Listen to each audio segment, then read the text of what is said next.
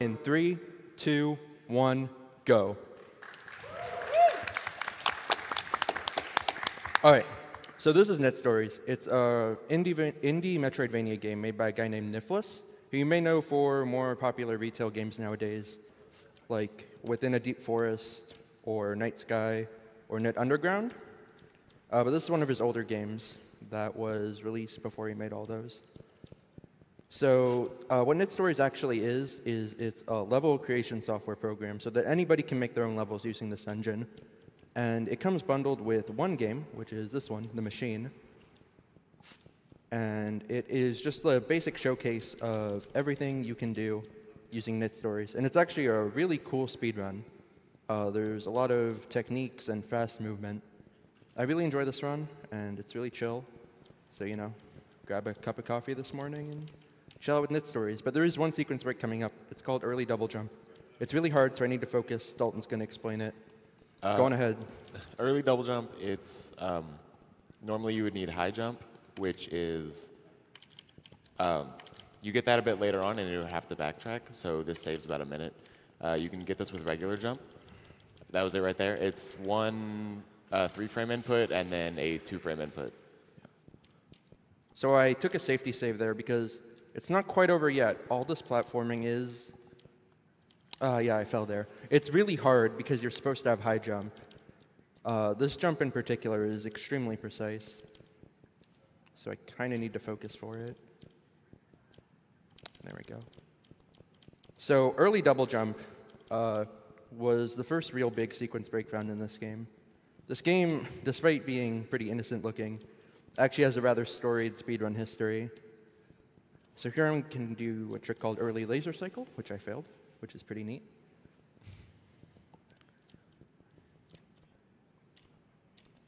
Cool, cool. Thankfully, though, after I jump over this guy, there's a save here. Also, I know there's no music, and that's boring, but there's going to be music later, I promise. It's just the first area that doesn't have music. And double jump. Cool, cool. That's early double jump. It's probably the hardest of all the sequence breaks, uh, but we're past it now. So within the past couple months, Knytt Stories has actually gone over a pretty big renaissance as a speed game. Uh, and there's been a bunch of new tricks found, one of which is coming up right here. It's something called the flyer double jump. A uh, little too late. And this allows us to nice, do something called top route. And top route to high jump saves about 25 seconds, which is a huge save. So it's one of the big renovations that's happened in the run in the past couple months. And it's mostly thanks to two new runners, who I'll give a big shout out to later, that all this is possible. And cool little movement here. You can manipulate enemies by moving in this game. And we got high jump. That was a pretty good top route. A lot of the enemies along that path are RNG based, about when they shoot and where they shoot. Uh, but I got pretty good RNG, so I was able to dodge them all. A lot of the RNG in this game isn't just like you get bad RNG and you lose time. It's you get bad RNG and you have to react. So if you're a good player and you practice, you can basically negate most of the RNG in this run. So to talk a bit about the category I'm doing, this is the machine 100%. I already brought up what 100% is. Or I already brought up what the machine is. It's the level that comes bundled with the game. But what 100% is, is you have to get all the items and get the secret ending at the end of the game. Uh, so normally there's only one item that's optional, and that's the detector, which I'll be getting. Uh, but using glitches, an 90% run can also skip the hologram, which skips another major area. So 100% exists to show off more of the game.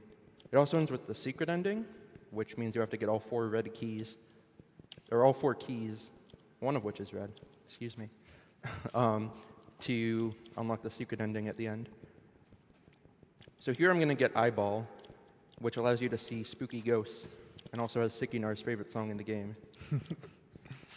and after I get eyeball, oh, eyeball, I need to do something called ghost jumps, which are pretty precise, so I kind of need to focus for it. That's one. Nice, got both ghost jumps.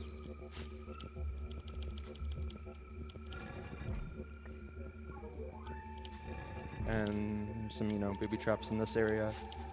They're always the same, so you can just dodge them easily. So the next item I'm on my way to get is the umbrella. The umbrella is an extremely useful speed tool in this game. Also, I'm going to skip this save because we're we're we're living big. Think I'm going to die? Couch? Think I'm going to Nah, die? you got this. Uh, think I'm going to die? Think I'm going to die? 50-50. Ooh, 50-50. I don't like those odds. Okay, cool. I made it. Cool. I'm proud of me.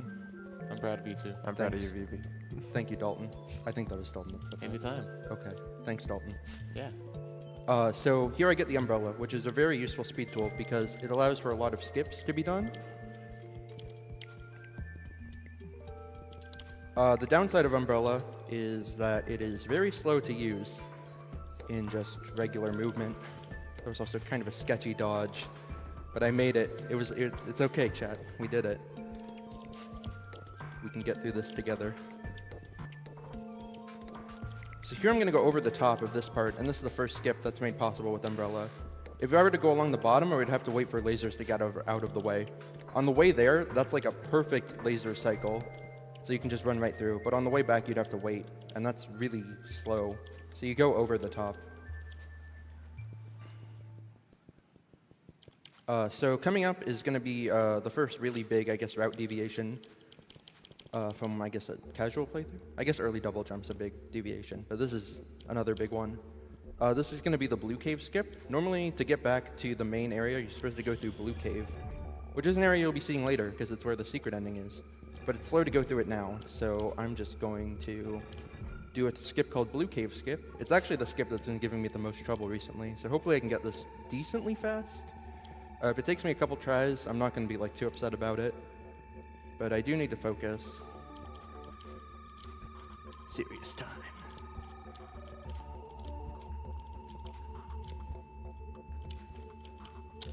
Close.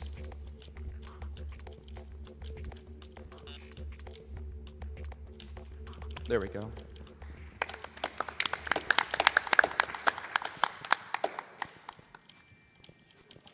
So now I can get the first of the keys. Cool little movement strat to get up there. Uh, so like I said earlier, the keys let you get the secret ending. And the first key is in this area. You can also only get the keys on normal mode, which is why we play on this mode for the speedrun. Cool little strats here to avoid, try and avoid RNG as much as possible. I got very good RNG there. That uh, flying guy can snipe you if he's too low, and it's not a fun time. So now I'm going to go to my favorite area in the speedrun, the summit.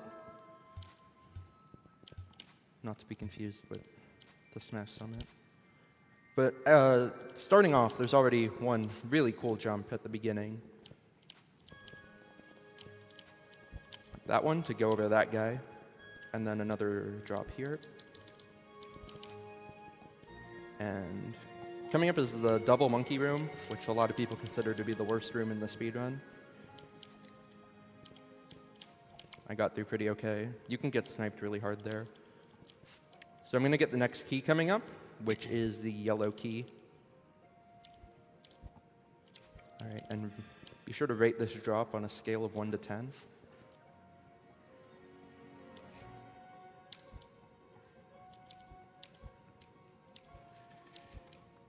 That was like a 7. What do you guys think? I was gonna say eight. Yeah, Seven or eight. eight. Okay. I- I'm proud of that. I I would like put that on my refrigerator, that drop. Frame it. frame it. So what the hologram, the item I got just, just got does is normally there's a lot of enemies that only uh, attack you when you get close to them, but the hologram makes it so that they don't detect you when you get close to them. So it's really useful. It's required actually for casual playthrough to get around some enemies. Like I said, an ending percent run can skip it through glitches that I'll be doing later in this run because they are faster, but you still have to get hologram for the 100% definition. All right. So coming up is the detector item, which I mentioned earlier is the only uh, truly optional item in this game. What it does is it makes Juni glow red when there's enemies near her, or blue. Juni is the main character, by the way. Uh, so she- it makes her glow red when there's enemies near her, and it makes her glow blue when she's near a secret exit entrance. Uh, but there's three pretty difficult tricks right in a row Uh, the first one is going to be the bottom strat to get to purple key early. And the purple key is, you may have guessed it, one of the four keys I need to get to the secret ending. And there's a pretty tricky jump you can do to get up to it without having to float over a lot of stuff. It's not too bad. But after that, there's going to be a trick called laser double jump, which allows you to do a faster route uh, to get down to detector. And then in the detector room itself is the hardest trick in the game that I'm only going to go for once. It's called the laser fast cycle, and it's a blind frame perfect jump. Uh, getting into the lasers is pretty easy, but getting out is the blind frame perfect jump. That's the top route, or bottom route for purple key. Pretty easy. Here's going to be my attempt at laser double jump. Yeah, I failed it. I'll give it, oh no, I'll just take the normal route. No biggie.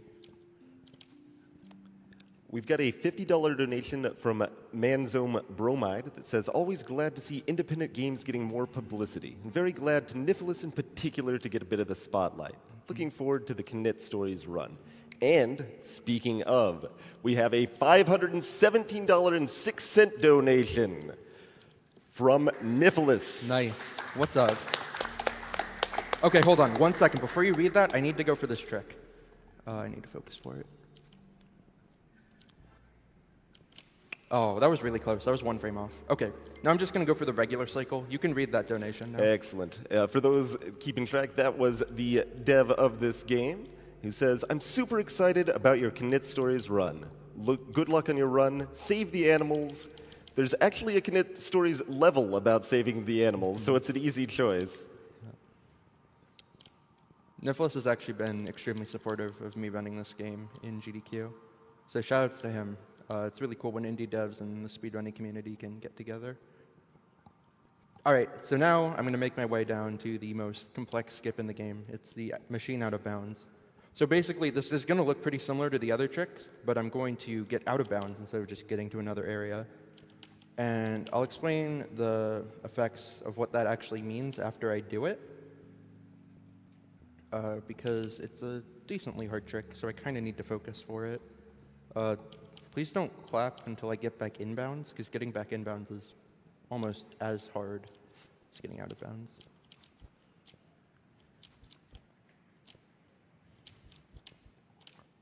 So, this is the out of bounds. If you tilt your head and look, it's not just random swigglies. That text actually says void. So now I'm just going to float out of bounds for a while. How are you guys doing? Pretty good. How about you? Cool. So now I'm back in bounds, and now I'm in the purified area. so what that did was normally you're supposed to go through the machine cave and turn off the machine, and that makes the world purified and not uh, polluted anymore. But what actually happens in the game is when you turn off the machine, the game warps you to a purified map because the game can't change maps like that. So what I did was I fell out of bounds on the polluted map and uh, fell back inbounds in the restored map. And that skips the entire machine cave and most of the backtrack through the purified machine cave. That's a huge skip. Um, so now we just get the, the chill section of the run. Chill is code word for boring, by the way, in case you haven't figured that out yet. If you want to read a donation, now would be a good time. Absolutely. We have a $50 donation from Squishy Flan that says, Hey, looking forward to this Knytt Stories run. I just hope VB knows better than to eat the mushrooms. You hear that? Don't eat the mushroom. You'll find out what that's about very shortly. We got a $5 donation from Daniel145 that says, So much love for this game.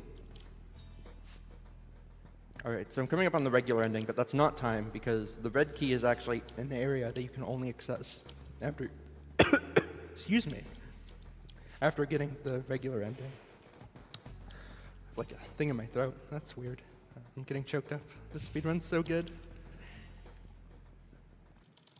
Okay, I think it's good now. So now I can uh, mash through that text. I'm in the congratulations area.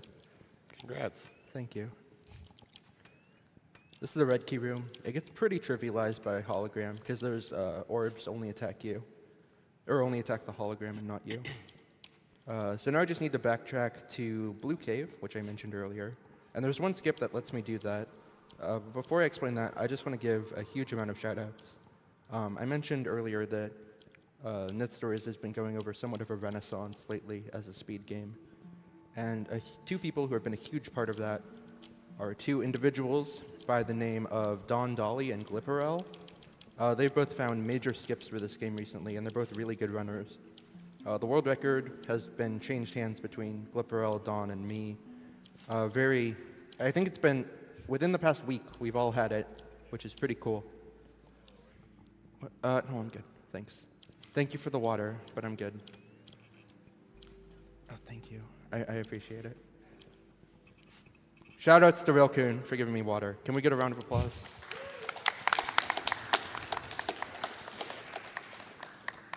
Um, so yeah, a big shout outs to both of those two people for making the speed run a lot shorter. The world record dropped from 1644 to now it's at 1504. Uh, big drop.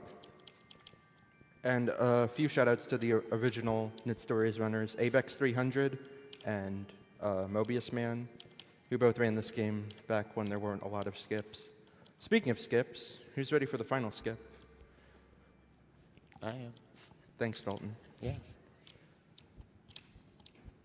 Cool. First try. Nice. Nice.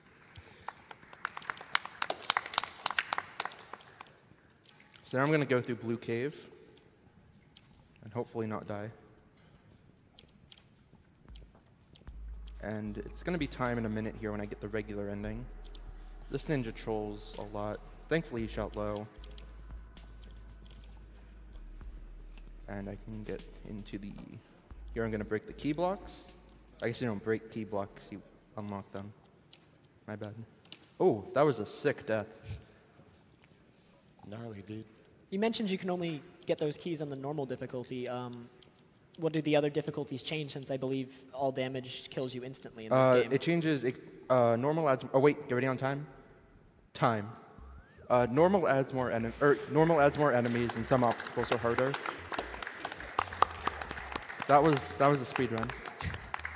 Shouts to the secret ending. Yay. Truly secret ending. I like the music. Uh, what was the time on that? Uh, 1648. That's good. That's Nice. not bad. 16 was my goal for the marathon, so I'm happy with that.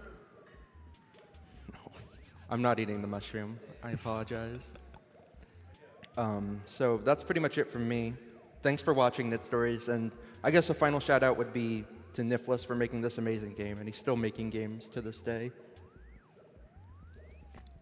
Also, shout outs